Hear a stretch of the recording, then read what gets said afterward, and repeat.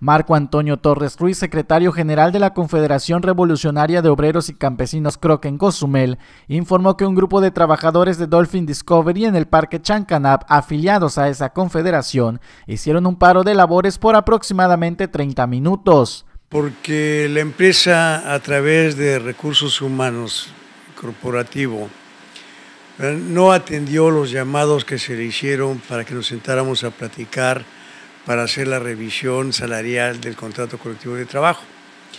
Eh, quiero, quiero, aclarar una, una cosa.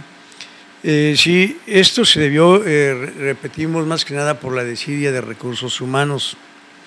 Se le estuvo llamando varias ocasiones y no es la primera vez que lo hace que fijamos una cita para cualquier cuestión, y no aquí, inclusive en Cancún, y no se presenta. Dijo que todo se derivó por la falta de interés de recursos humanos hacia con el sindicato y los trabajadores, y no por otros temas como presunto maltrato hacia los delfines, como se difundió en algunos portales de internet. En 30 minutos y se regresó a trabajar, porque inclusive... Eh, repito, hubo gente de confianza de la empresa que se metió a, a tratar de cubrir el expediente, ¿verdad?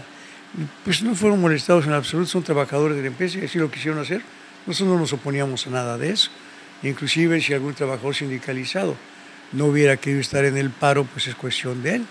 Cuestionado sobre si se llegó a un acuerdo, señaló. Platicamos ya aquí en, el, en las oficinas del sindicato y fijamos como fecha para que esté presente la comisión revisora el próximo martes a las 6 de la tarde y demos inicio a la revisión del contrato mientras que en un mensaje difundido a los medios de comunicación, Dolphin Discovery informó que un grupo de colaboradores sindicalizados por indicaciones del sindicato al cual se encuentran afiliados suspendió sus labores, argumentando tener derecho a un incremento del 20% de sus ingresos derivado del incremento al salario mínimo general que se aprobó el pasado mes de diciembre y ha entrado en vigor. Sin embargo, su sueldo base está por encima del salario mínimo, esto aún después del incremento aprobado en diciembre pasado, además de que de acuerdo al contrato colectivo que se tiene celebrado con el sindicato es hasta el mes de julio que corresponde la revisión contractual y salarial para que a partir del 1 de agosto del 2020 se firme.